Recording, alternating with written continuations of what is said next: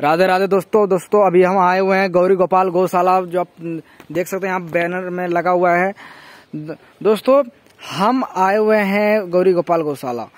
यहाँ पर हम गौ माता की दर्शन करने आए हैं, हम देखना, देख रहे आए हुए हैं कि गौ माता की रहने के लिए व्यवस्था कैसी है, कि, कैसी है।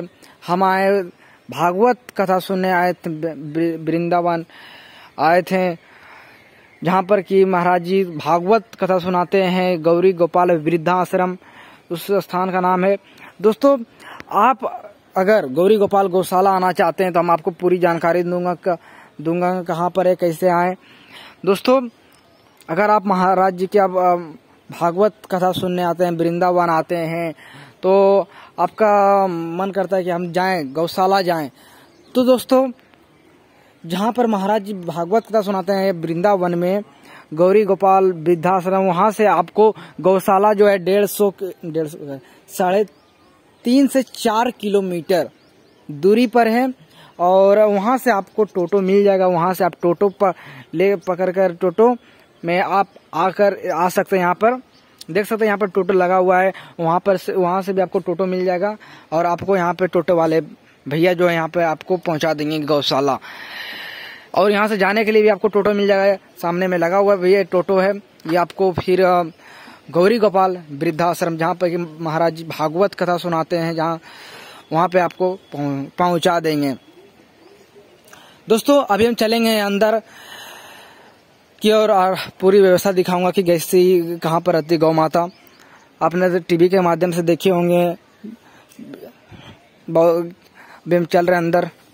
दोस्तों, यहाँ पर बाहर में देख सकते हैं, बंदर की सेवा के लिए यहाँ पर पक्षी, चिड़िया, पशु के यहाँ पर पानी भी रखा गया। बहुत अच्छा यहाँ पर बाहर की व्यवस्था, यहाँ पर वृक्ष भी है यहाँ पे यहाँ पर बाहर में।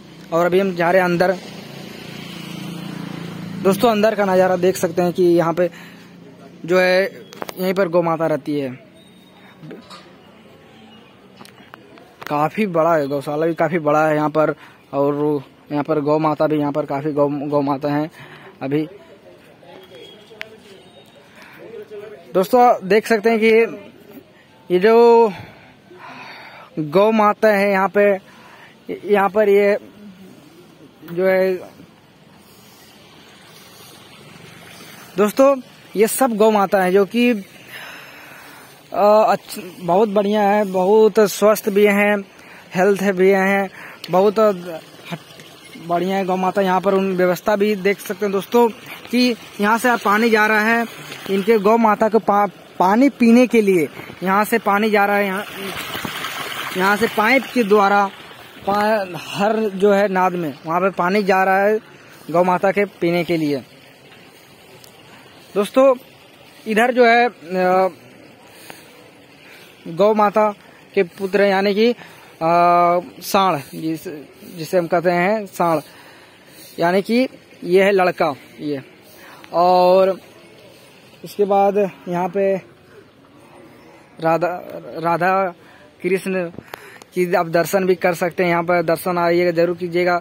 यहाँ पे है मैया राधा और भगवान श्री कृष्ण का कितना भव्य सुंदर रूप है। मुस्कुराहट चेहरा पर है, मुस्कुरा रहे हैं, जैसे खिलखिला रहे हैं। दोस्तों बहुत सुंदर यहाँ का नज़ारा है। और अभी हम और आगे चलते हैं। यहाँ देख सकते हैं कि यहाँ पे भी गौ माता इधर। भैया झाड़ू दे रहे हैं इनको। यहाँ पे गौ माता बाहर में यहीं पर रहती है। अंदर में भी अभी अंदर, यहाँ पर भी है और अंदर में भी गौ माता है। दोस्तों, अभी हम जा रहे हैं जहाँ पर कि गौ माता और अंदर में है। चलते हैं। दोस्तों कुछ गौ माता यहाँ पर भी है का यहाँ पर उनको चारा लगा हुआ है खाने के लिए। यहाँ पर खाना खा रही है। चा, चारा खा रही है भूसा। और यहीं पे दूध भी दुहाता है। गौ यहीं पर जो है अंदर में ठंड के समय बरसात के समय में उनका रहने के लिए अंदर व्यवस्था किया गया है। और अभी तो गर्मी का समय अभी तो गौ माता बाहर में ही रहती है। और यहाँ पर देख सकते हैं कि यहाँ पे पंखा पंखा लगा हुआ है गौ माता के लिए, ताकि उन्हें गर्मी महसूस ना हो। और ये दूध का बाल्टी है। शायद बच्चे को दूध पता नहीं। नहीं तो और इधर भी है। यहाँ पे चारा है। ये गौ माता के लिए। और अंदर में भी देख सकते हैं, यहाँ पर अभी खाली है, यहाँ पर भी गौ माता की रहने की व्यवस्था की गई है। यहाँ पे लाइट है, पंखा है और काफ़ी साफ़ सुथरा है यहाँ से। देख सकते हैं कि बड़ा भी काफ़ी गौशाला भी काफ़ी बड़ा है। दोस्तों, अगर हम यहाँ की पूरी अगर बात करूँ कि यहाँ पर टोटल कुल मिला के कितनी गाय है गौ माता है तो दोस्तों, लगभग यहाँ पर डेढ़ सौ गौ माता यहाँ पर अभी है। सब मिला के कुल मिला करके डेढ़ सौ गौ माता यहाँ पर अभी है। दोस्तों, यहाँ पर देख, यहाँ पर पेड़ भी लगाया गया, बरगद का, पीपल का पेड़ भी है। दोस्तों, यहाँ पर पीपल का पेड़ भी लगाया गया है ताकि आने वाले समय में यहाँ पर पेड़ छाव दे, हवा ऑक्सीजन अच्छा शुद्ध वातावरण बने रहे। इसीलिए यहाँ पर महाराज जी यहाँ पर पेड़ भी लगाए हैं। दोस्तों और यहाँ पर काफ़ी भक्त लोग भी आए हुए हैं गौ माता के दर्शन करने के लिए। और यहाँ पे गुरु जी भी अभी कुछ देर में आएँगे। अभी समय हो रहा है, सात बज रहा है, सुबह का समय है। तो महाराज जी गुरु जी आते हैं, आठ या साढ़े आठ बजे यहाँ पर पहुँच जाते हैं। यहाँ पर आते हैं, हर रोज आते हैं, नित्य दिन आते हैं। बहुत सुंदर यहाँ पर व्यवस्था किया गया है, जहाँ की आज के लोग जो अपने गौ माता को घर से बाहर कर देती है, सिर्फ़ उसको दूध देख सकते हैं, यहाँ पर बछड़ा दूध दूध कर हाँक देता है। दोस्तों, ऐसा नहीं करना चाहिए। हर घर में एक गौ गाय पालना चाहिए, जिससे कि गौ माता की रक्षा हो सके। दोस्तों, जब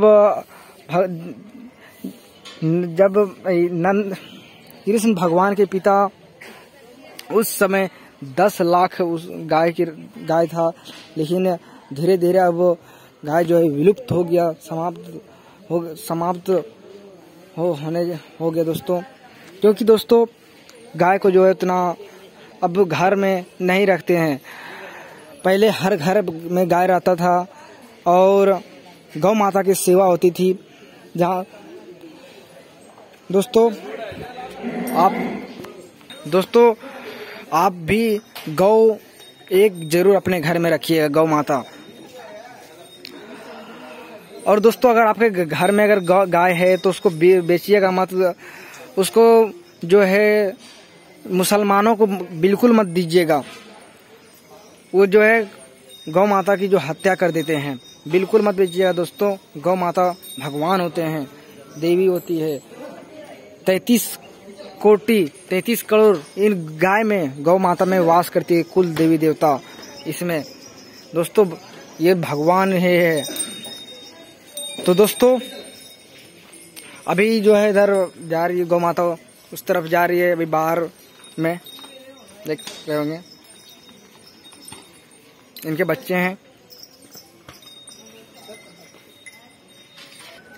तो दोस्तों, हमें पूरा विश्वास है, आने वाले समय में हर घर घर में गाय होगी। ये मेरा पूरा विश्वास है। क्योंकि आने वाले समय में जो है व्यक्ति के पास संस्कार, शिक्षा होती है, लेकिन संस्कार नहीं होते। इसीलिए महाराज जी ऐसी व्यवस्था कर रहे हैं, जहाँ की ऐसी ज्ञान दे रहे हैं, ज्ञान का प्रकाश फैला रहे हैं इस संसार में, जिससे कि हर घर में जो है गौ माता की हो, उनकी उनका मान सम्मान मिले उनकी। तो दोस्तों, अगर आप यहाँ पर आते हैं, यहाँ वृंदावन महाराज जी के यहाँ गौरी गोपाल वृद्धाश्रम तो यहाँ पर ज़रूर आइएगा गौशाला यहाँ पे, और दर्शन ज़रूर कीजिएगा गौ माताओं को। अवश्य आइएगा यहाँ पे। तो दोस्तों, मिलते हैं नेक्स्ट वीडियो में, और चैनल को लाइक और सब्सक्राइब ज़रूर कीजिएगा। धन्यवाद।